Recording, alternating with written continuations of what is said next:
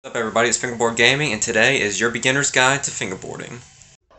First thing you want to do is get used to riding with two fingers, whether it's on ramps, hills, flat ground, ledges, etc, etc. Because the moment you get comfortable with your board and learn how to maneuver it, you're on your step to popping and learning tricks. Alright, your second step is rolling off of ramps. That way you don't have to think about the pop and focus purely on the landing. Third step is pop shoves. Pop shoves is the most entry level trick available and teaches you how to properly pop and catch your deck to get clean landings. And step 4 is having something really short to grind on. Practice your 5-0s, your 50-50s, your nose grinds, your front crooks, your tail slides, your board slides, and your nose slides. And once you get those down, you can move to higher objects. And now that you got a lot of the basics down, you're ready to shred and come up with your own tricks.